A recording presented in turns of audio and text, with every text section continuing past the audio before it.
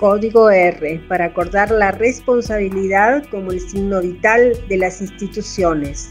Una red dedicada al diagnóstico en los contextos de la responsabilidad social y el desarrollo sustentable, con los propósitos de percibir lo que está ocurriendo en la realidad, de evaluar los escenarios por venir y de intervenir en lo que va a pasar.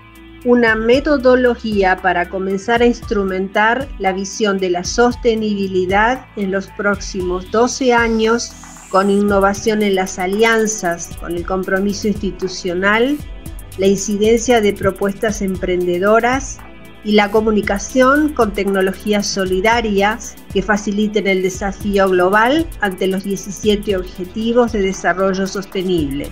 En el punto de partida definimos a la responsabilidad como la capacidad de hacernos cargo y a la RSE, responsabilidad social empresaria, además de hacerse cargo, dar cuenta a todos sus grupos de interés.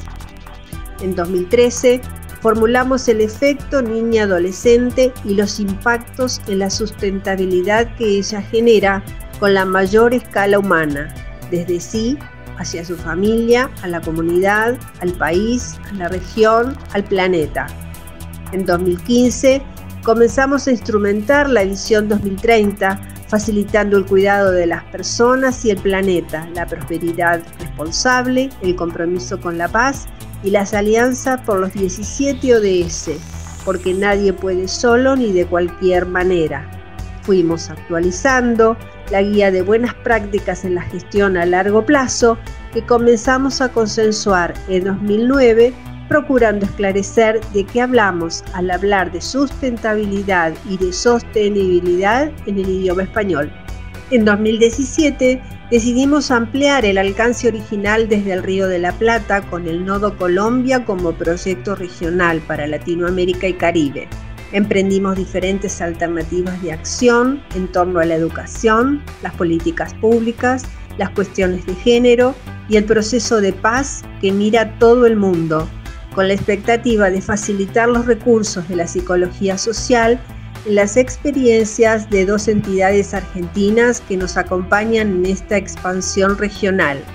La educación para la convivencia familiar, escolar y comunitaria de la Fundación FEPAIS y las políticas del vecino responsable desde el nodo centro de Argentina.